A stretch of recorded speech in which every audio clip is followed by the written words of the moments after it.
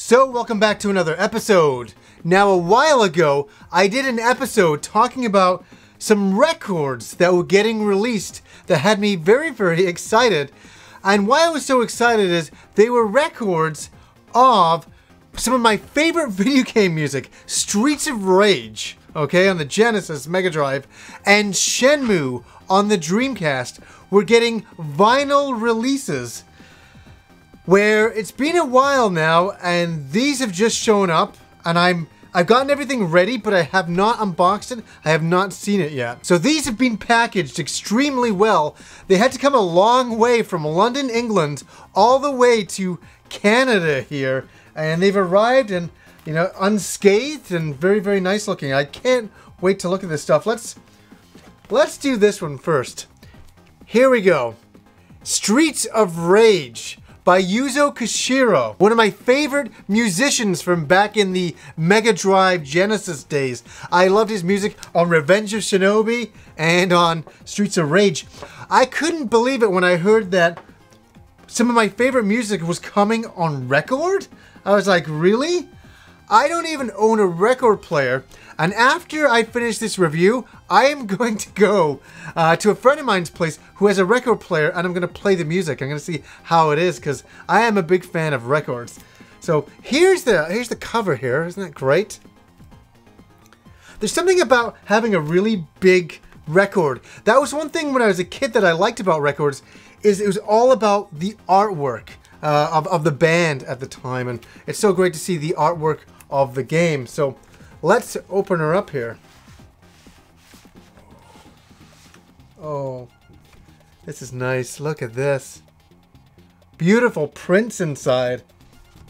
Oh, god damn it. Yeah, you don't get that on CD, do you?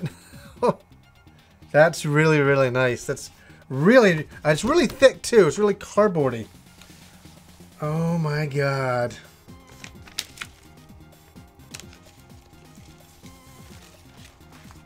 Oh my god, look at this. Look at this record. Oh, this is uh, this is gorgeous. This really, really is gorgeous. Oh, look at that. Oh, that's really something else. Very impressive. Very impressive. This is getting me into, to becoming a record um, collector. Something I've been kind of scared to do because it's such a huge, huge type of thing. But, oh my god, I'll just put these over here for now. Beautiful presentation. Oh, oh, orgasm time. Shenmue. Shenmue on vinyl. Who would have ever seen the day this would have happened? Wow, look at that. Something else. Wow, let's open this up.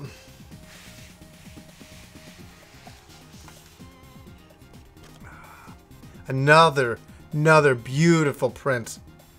Really nice stuff. Good job, guys. Oh my god, it's really good. Really something else.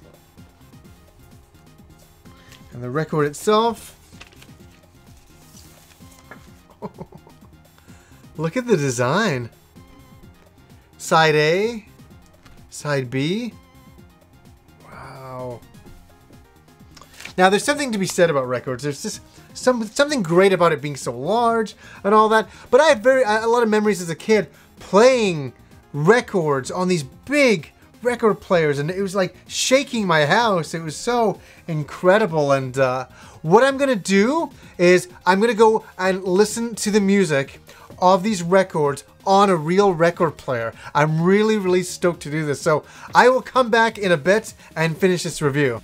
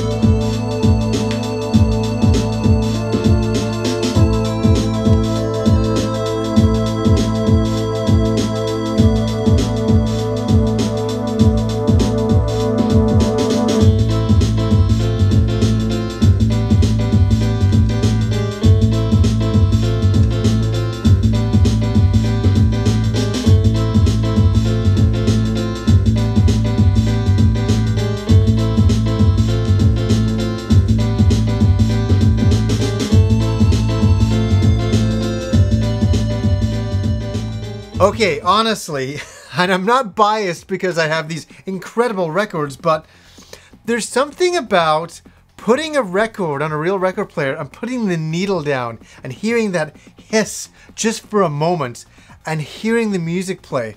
I sat back and I was like, wow, this sounds really good. And I don't know, it might be purely, uh, you know, like uh, psychological because I remember in C- with CDs back in the day, CDs versus LPs, there were so many arguments, so many whatever, but it doesn't really matter. What mattered is I sat and listened to these, and I thought they they sounded fantastic. I thought they were great. I thought they were great, and uh, there's just something cool about it being on record. These are something that you don't see nowadays. You don't see a lot of records. It's it's it is a, a niche hobby for sure, and it's coming back though. Records are coming back, and I gotta thank uh, Data Discs for creating such incredible uh, remastered versions of this music on vinyl. I I'm so happy that a company would do this again. Would would take old video game soundtracks, which which to a lot of people are long forgotten, like Streets of Rage. We're talking the early 90s, you know, 89, 90 when this came out and it's 2015 and people are bringing them onto to discs now. I i think it's wonderful and uh, for anybody who's interested i will put a link down below to their website. I think they're sold out but you can go and check that out. This was all pre-ordered a long time ago when they were first released and uh, i couldn't believe it when they showed up. I'm like oh my god they're they're finally here. And let me tell you this they're worth the wait. They are definitely worth the wait. Uh, to say I got Streets of Rage on vinyl is automatically fucking cool. So I just wanted to show you guys some of the vinyl records and let you guys hear some of the music as it's playing on the record players to see how cool it was. So anyways, guys, until next time.